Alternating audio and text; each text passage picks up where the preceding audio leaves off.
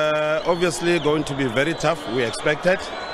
Um, this this is a new team altogether, Kaizer Chiefs team.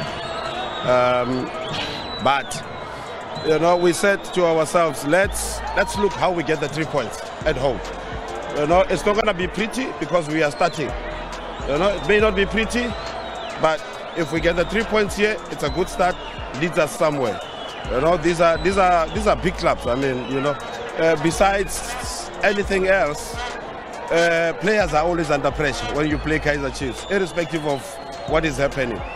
So, but we appreciate the, the work shift, that, uh, the, the shift that the boys put in.